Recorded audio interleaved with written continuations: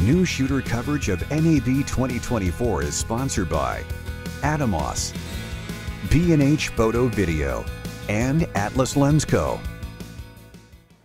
Hi, it's Matt here for newsshooter.com at NAB 2024. I'm with Colin at the Teradek booth. Now, uh, internal antennas have finally come to the Bolt series. Yes, that's been a highly requested feature that uh, we have in, in Bolt. And so we now have Bolt 6 LT, TX, and RX, and the monitor module RX now have an internal antenna option for the 750 foot. So we're really excited because that's going to make camera builds much more compact, or for a director's you know, monitor, you're not going to be worried about breaking antennas.